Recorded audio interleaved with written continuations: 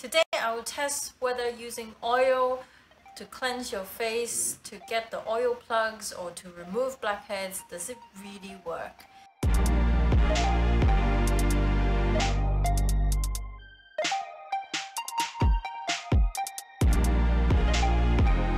Hello everybody, this is Gladys. Welcome back to my channel.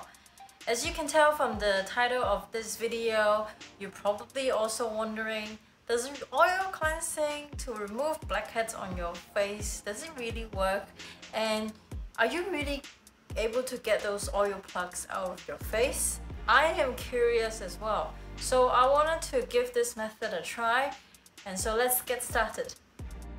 So I'm getting all ready and uh, I pulled my head up. Now I saw oil cleansing in a couple of different places on the internet, on different YouTube channel. And uh, they will have different steps or um, method to oil cleanse. What I wanted to test is um, this method introduced by a esthetician, the Golden RX and her method is slightly different from what I had been using and some other people who advocate oil cleansing. So I'm gonna test that one out. This oil cleansing method involves two steps. Step one would be to use the cleansing oil to remove the makeup or the sunscreen you have on your face and then you wash it off with water, emulsify it and then wash it off with water and then you apply the same cleansing oil on the face and then you massage it for however long you want to massage it um, and in that video I saw that I heard that she massaged it for about 15 minutes so so let me try that. Uh, I don't have that uh, cleansing balm that she used on the video but I have this um, DHC deep cleansing oil and so I'm gonna use this instead. So I'm gonna get two pump for the whole of my face and then I'm gonna rub it all over my hand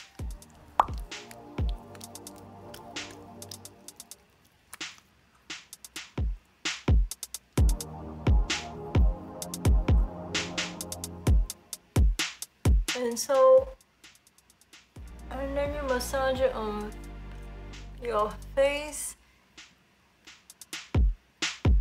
where you have makeup.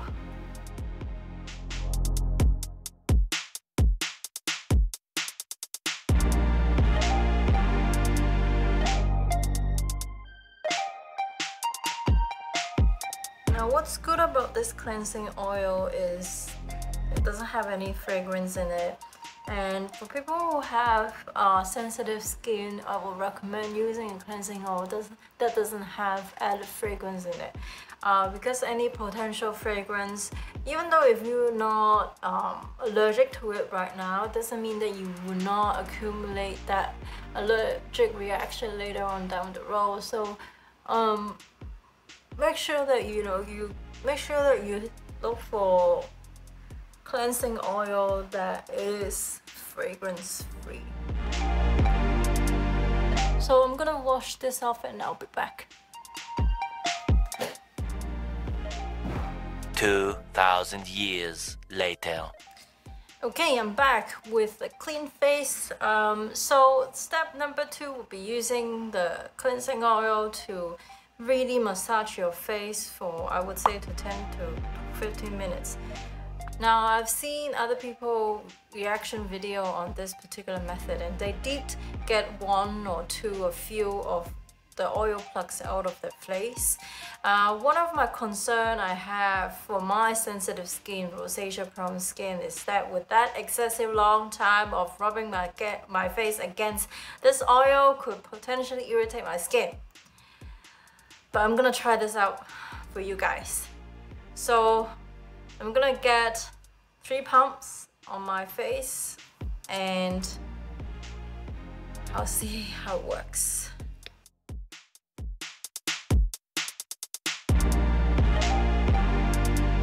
So I've seen other people who uses this oil cleansing method uh, to remove blackheads. In fact, this oil cleansing method is suggested by a Korean beauty expert and the way she did it, it's similar, but the time of me rubbing my skin with this oil is very minimal.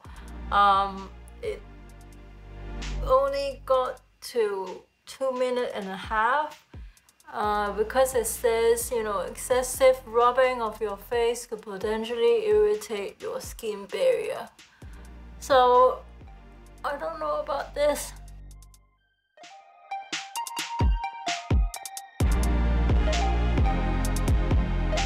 comment down below if you have also tried this method and and maybe it works for your skin or it doesn't work for your skin. Let me know as well. Share with me as well because i'm curious if this method is gonna help.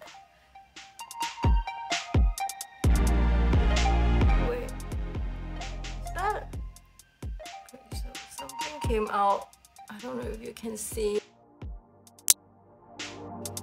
can definitely feel that there are some dead skin cell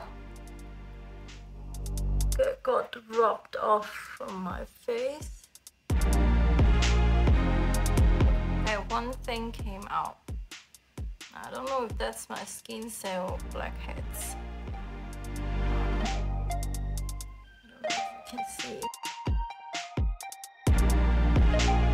Blackheads die.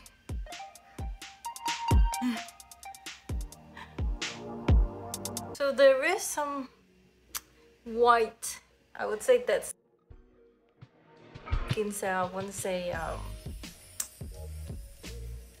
my blackheads um,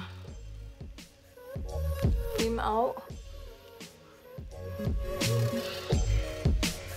But it's just like one or two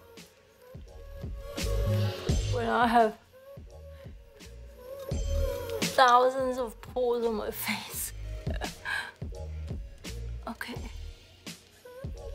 I'm gonna rinse this. Getting tired.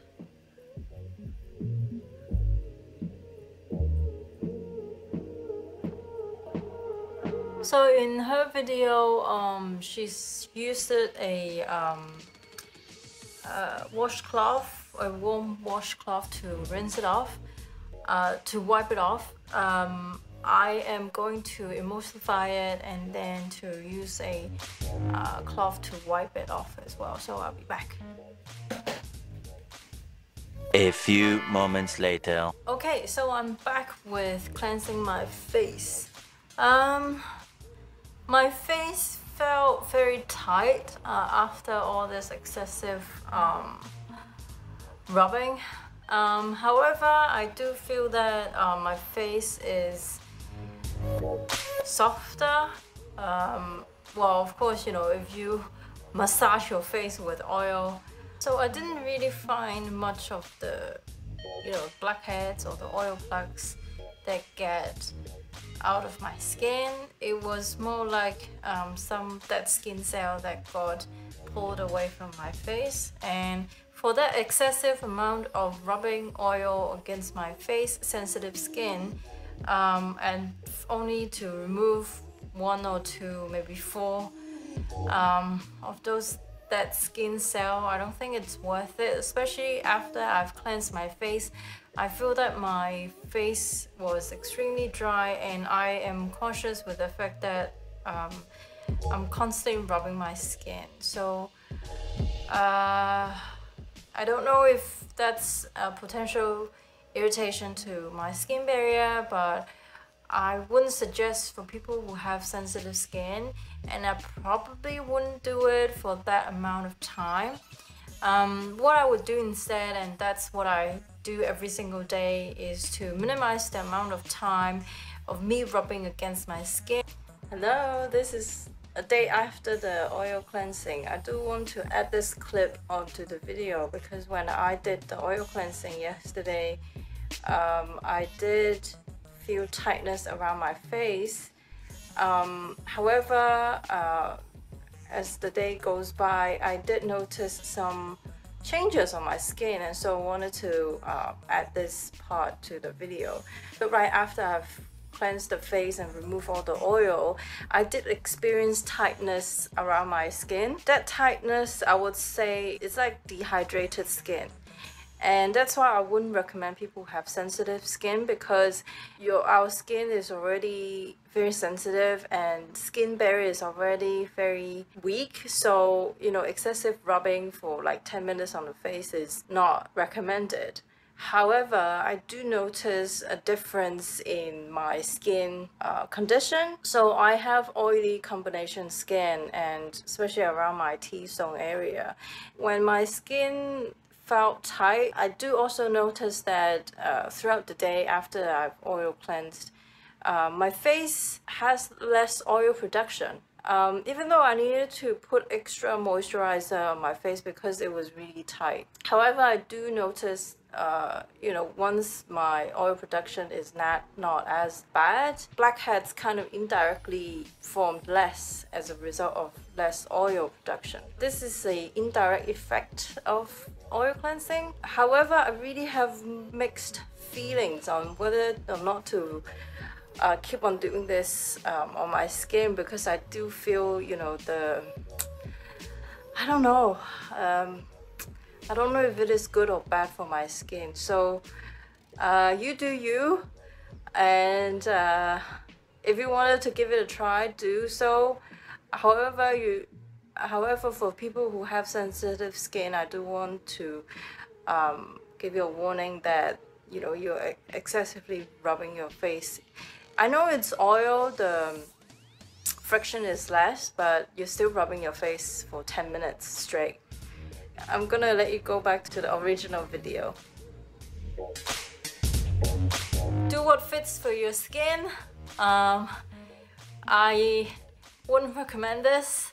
Uh, but if you also find that you know rubbing your face for that 10 to 15 minutes uh, for that one or two maybe four of those uh, uh, you can give it a try so that's it for today. Thank you so much for watching. If you find this video helpful, make sure you subscribe to my channel to support me to make more video like this. Make sure you also turn on that notification bell for any new video, video I release every week.